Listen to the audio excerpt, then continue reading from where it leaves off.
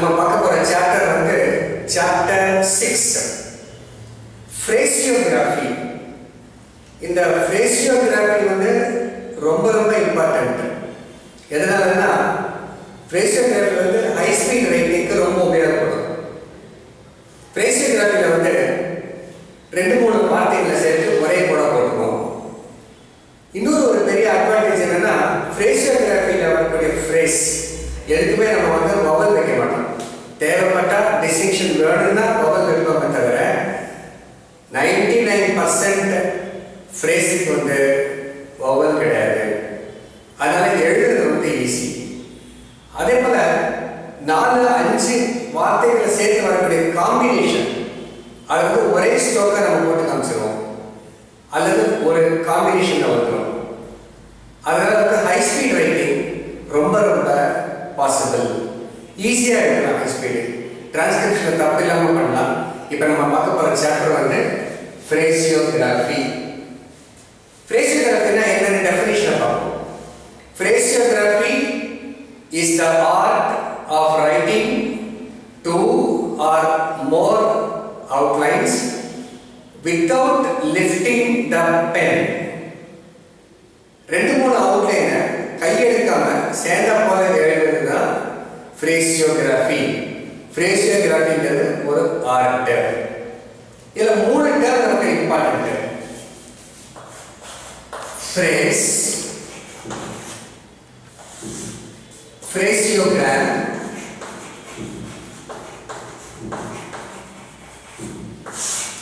Phraseography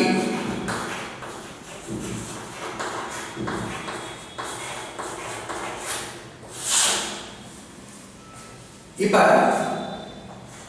you may be அப்படின்னு இங்கிலீஷ்ல எழுதின phrase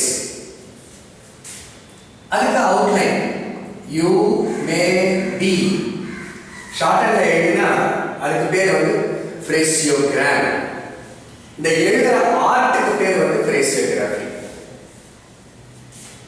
we shall be we shall இங்கிலீஷில் இங்கிலீஷ்ல எழுதுனா அதுக்கு பேர் வந்து ஃப்ரேஸ் வி ஷல் பி ஷார்ட்டில் எழுதுனா அதுக்கு பேர் வந்து ஃப்ரேசியோகிராஃபி எழுதுற ஆர்ட்டுக்கு பேர் வந்து ஃப்ரேசியோகிராஃபி இப்போ அந்த டெஃபினேஷன் திருப்பி சொல்றேன். இப்போ நல்லா புரியும். Phraseography is the art of writing two or more outlines without lifting the pen. இல்ல எங்கேயாவது கையெழுத்து எழுதுனா இல்ல ஒரே கண்டினியூஸா எழுதிருக்கேன் இந்த மாதிரி கண்டினியூஸா எழுதினா phraseograph. The resulting outline is called phraseograph. Phraseography is the art of writing two or more outlines without lifting the pen, the resulting outline is called phraseogram. இப்போ ஃப்ரேசியோகிராஃபிக்கு குவாலிட்டிஸ் என்னென்ன குவாலிட்டிஸ் இருக்கணும் அப்படின்னா மூணு குவாலிட்டி இம்பார்ட்டன்ட் ஒன்று வந்து facility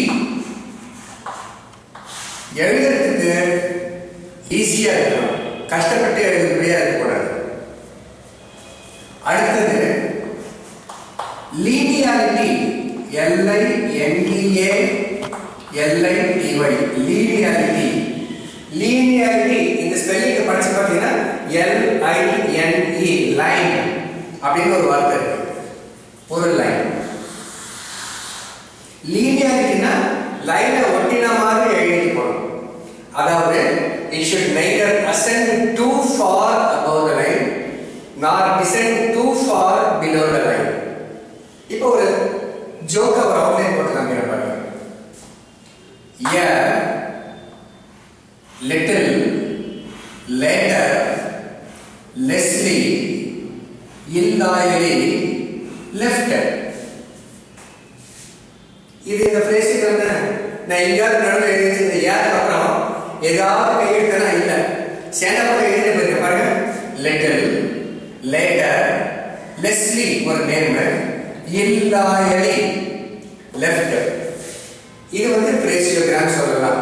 ஆனால் சொல்லக்கூடாது ஏன் இந்த குவாலிட்டியில் அடிபட்டு போயிடும் it should neither ascend too far above the line லைனுக்கு மேலே போகக்கூடாது ரொம்ப not descend too far below the line இப்போ பாருங்க Paul and Peter took the powder கண்டிப்பாக எழுதுறேன் Paul and Peter took the powder இதுவும் இந்த குவாலிட்டி படி அறிமுகப்படுது அதாவது லைனுக்கு மேலேயும் கண்டினியூஸாக நிறைய போகக்கூடாது லைனுக்கு கீழே வரக்கூடாது. அப்போ வந்து லைனை ஒட்டின மாதிரி எழுதணும் அப்படின்னா ஏன் எப்படி எழுதக்கூடாதா I am inclined to think that the honorable members are aware that the house is going to meet. லைனுக்கு மேலே லைனுக்கு கீழே ரொம்ப வரக்கூடாது. லைனை ஒட்டி தான் எழுதணும்னா இந்த மாதிரி லாங்காக எழுதிட்டு இது ஒரு பிரேசியோகிராம் அப்படின்னு சொல்லக்கூடாது. I am inclined to think that the honourable members are aware that the house is going to meet so இதில் பார்த்தீங்கன்னா லீனியாரிட்டி குவாலிட்டி அமைச்சு போச்சு. என்ன அது ஒரு ரூல் should இட் ascend too far too far above the line nor descend too far below the line.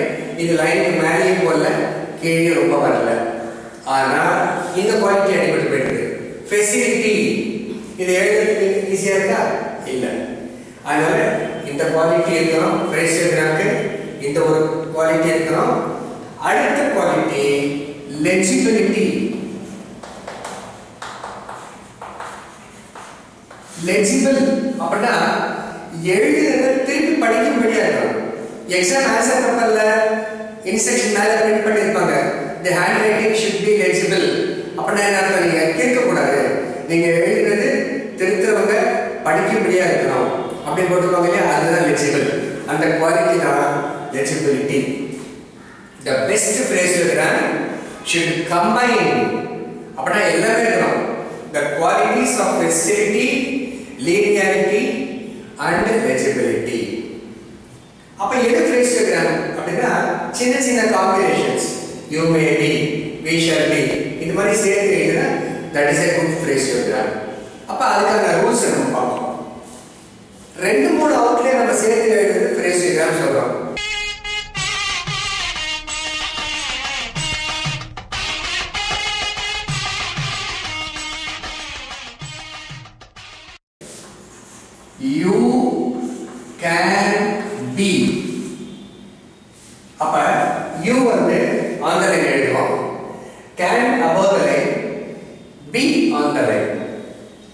அப்ப எப்படி ஆரம்பிக்கிறதுன்னா இந்த மாதிரி ஒரு காம்பினேஷன் முதல் வேர்டு தனியா வந்தா எந்த பொசிஷன் ஆரம்பிப்போம்?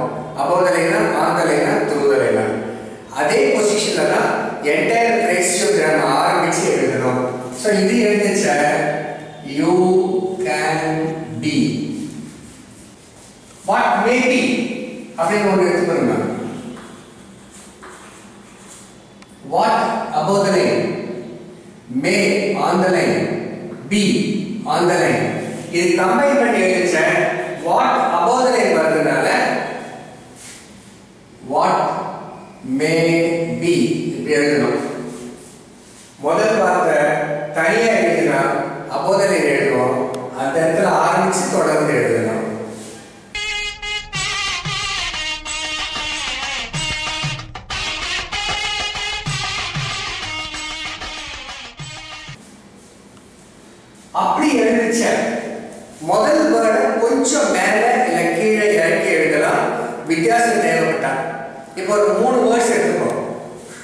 much above the line which on the line each through the line much which each.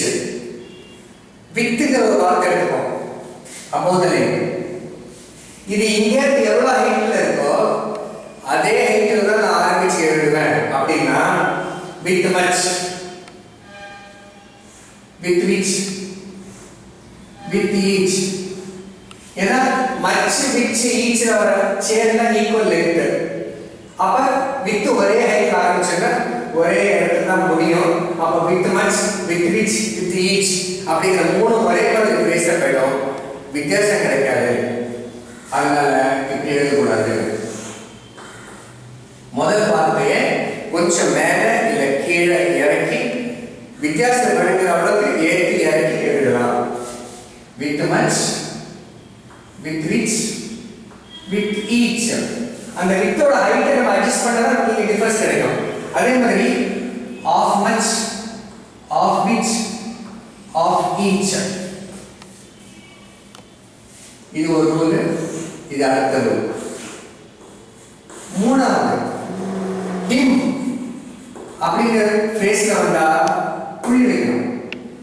Me அப்படின்னு வந்தா சாதாரண பேசுறது பார்ப்போம் ஆஃப் ஹிம் ஆஃப் மீ புள்ளிய வைக்கலன்னா ஹிம்மா மீயா கண்டுபிடிக்க முடியாது ஆஃப் ஹிம் ஆஃப் மீ ரெண்டும் ஒரே அவுட்லைன் அப்ப ஹிம்முக்கு புள்ளி வைக்கிறோம் மீக்கு வைக்க வேண்டாம் by him by me for him for me I can be abbreviated when joined to K, G, M, L. இந்த நாலு strokes K K M L இந்த நாலுக்கு முன்னாடி ஐ வந்தா I can be abbreviated. ஐல என்னென்ன இருக்கு இப்படி ஒரு கோடு போடுறோம் இப்படி ஒரு கோடு போடுறோம் இப்படி ஒரு கோடு இப்படி ஒரு கோடு போடுறோம் இந்த நாலு ஸ்ட்ரோக்குக்கு முன்னாடி ஐ வந்தால் ரெண்டாவது கோடு போட வேண்டாம் ஐ கேன் இப்படி போட்டுட்டு இப்படி எழுதக்கூடாது தப்பு.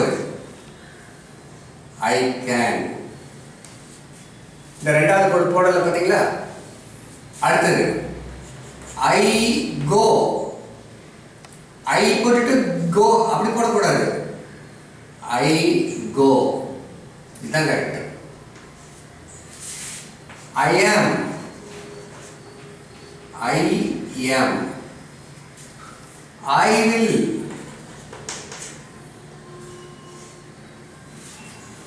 I can I go அல்லது I give I am I will அதே மாதிரி when joined to n the final diphthong au can be abbreviated அவுல வந்து இப்படி ஒரு கோடு இப்படி ஒரு கோடு இப்படி ஒன்று எழுதுறோம் இப்படி ஒன்று எழுதுறோம்.